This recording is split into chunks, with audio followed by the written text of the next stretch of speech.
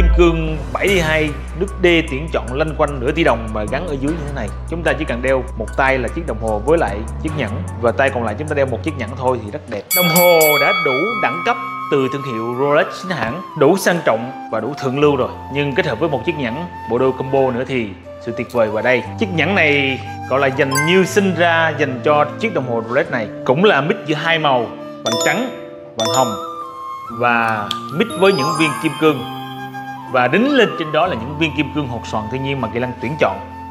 Là một bộ đôi combo hoàn hảo. Vành khía trên chiếc nhẫn này của Kỳ Lân được Kỳ Lân lấy ý tưởng từ vành khía trên vành bezel của đồng hồ Rolex chính hãng. Và đây là một kết quả một bộ đôi có gắn một viên kim cương chủ.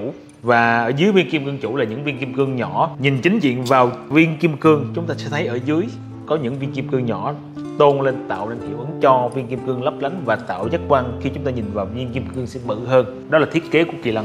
Nếu như chúng ta đang đeo chiếc đồng hồ Rolex mà full bằng trắng hoặc full thép hoặc là full vàng hồng hoặc là full vàng vàng hoặc là mix như thế này mix giữa thép và bằng hồng hoặc thép bằng vàng, thì kỳ lân sẽ thực hiện chế tác chiếc nhẫn y chang màu sắc như vậy. Ví dụ cụ thể đây là mix giữa thép và vàng hồng thì đây là chiếc nhẫn giữa vàng trắng và vàng hồng. Và một mẫu nữa là mẫu nhẫn Rolex xoay.